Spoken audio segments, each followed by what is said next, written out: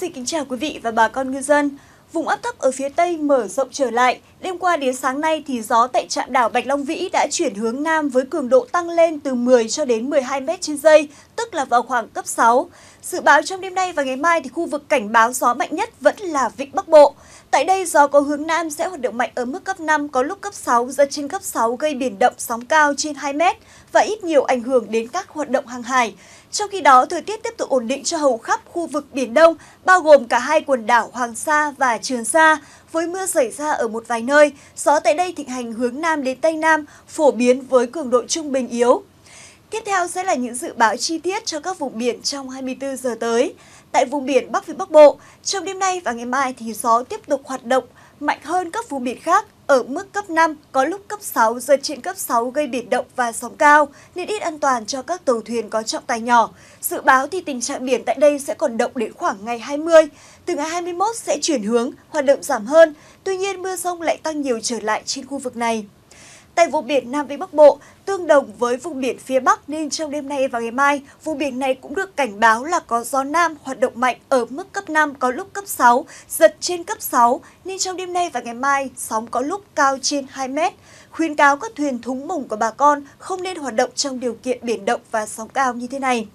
Xu đến vùng biển từ Quảng Trị đến Quảng Ngãi và đảo Cồn Cỏ Lý Sơn. Gió thịnh hành hướng Nam đến Tây Nam với cường độ trung bình, sóng biển cao từ 0,75 đến 1,75 m và ít gây trở ngại cho các hoạt động hàng hải. Riêng tại trạm Cồn Cỏ và Lý Sơn thì gió Tây Nam chỉ ở mức cấp 3, tình trạng biển bình thường và thuận lợi cho cuộc sống sinh hoạt của bà con ngư dân. Tại vùng biển từ Bình Định đến Ninh Thuận và đảo Phú Quý, trong đêm nay và ngày mai gió sẽ có hướng Nam đến Tây Nam với cường độ là cấp 4. Thời tiết tốt với đêm không mưa, ngày nắng nên thuận lợi cho các hoạt động lưu thông của tàu thuyền. Riêng tại trạm đảo Phú Quý thì gió thổi với hướng Tây Nam nhưng với cường độ cũng chỉ ở mức cấp 3, cấp 4. Sóng biển cao từ 0,5 cho đến 1,5 mét, ban ngày nắng nhiều và không có mưa. Xuôi xuống vùng biển từ Bình Thuận đến Cà Mau và Côn Đảo, gió thịnh hành theo hướng Tây Nam với cường độ có xu hướng tăng hơn 24 giờ trước đó ở khoảng cấp 4, sóng biển cao dưới 2 mét. Tình trạng biển bình thường, mưa xuất hiện ở một vài nơi vào lúc chiều tối nên không gây nhiều trở ngại cho các hoạt động hàng hải trên khu vực này. Tại Côn Đảo thì gió thổi hướng Tây Nam, thời tiết ít mưa nên các chuyến tàu ra thăm đảo có thể lưu thông thuận lợi. Chuyển sang vùng biển phía Tây từ Cà Mau đến Kiên Giang bao gồm cả đảo Phú Quốc và Thổ Chu. Gió thổi theo hướng Tây Nam với cường độ khoảng cấp 3 đến cấp 4, sóng biển cao từ 0,75 đến 1,75 m. Ban ngày thời tiết thuận lợi cho các hoạt động hàng hải. Đến khoảng chiều tối thì tàu thuyền hoạt động cũng cần lưu ý với những cơn mưa rông xuất hiện bất chợt. Tuy nhiên thì mưa rông đến nhanh và cũng kết thúc nhanh.